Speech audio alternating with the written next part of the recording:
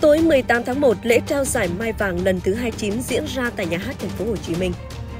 Buổi lễ có sự góp mặt của hơn 100 ca sĩ, diễn viên, nghệ sĩ, nhạc công, vũ công với các tiết mục văn nghệ đặc sắc trước thềm Tết Giáp Thìn 2024. Ban tổ chức trao 4 giải thưởng được công bố trước đó gồm các hạng mục ca khúc Cắt đôi nỗi sầu của Tăng Duy Tân, MV ca nhạc Tina của Phúc Anh, phim truyền hình Mặt trời mùa đông, chương trình trên các nền tảng số và truyền hình hai ngày một đêm. Hạng mục nam nữ diễn viên sân khấu được yêu thích nhất lần lượt gọi tên nghệ sĩ ưu tú Võ Minh Lâm và Lê Khánh.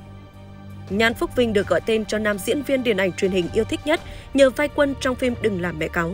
Đây là năm thứ hai liên tiếp nam diễn viên giành giải thưởng cho cùng một hạng mục đề cử. Vợ diễn được yêu thích được trao cho cô đào hát của đạo diễn Hoa Hạ, sân khấu Đại Việt. Trong khi đó, phim điện ảnh được yêu thích thuộc về Lật mặt 6, tấm vé định mệnh. Ca sĩ Hoa minh Si nhận giải nữ ca sĩ được yêu thích nhất. Hạng mục nam ca sĩ và rapper gọi tên đen vâu với ca khúc Nấu ăn cho em. Trước đó, anh cũng được vinh danh với giải nghệ sĩ vì cộng đồng năm 2023. Người dẫn chương trình được yêu thích nhất năm nay thuộc về MC Vũ Mạnh Cường, chương trình ca sĩ bí ẩn của đài truyền hình Thành phố Hồ Chí Minh HTV7. Nghệ sĩ Huỳnh Lập được trao giải diễn viên hài được yêu thích nhất.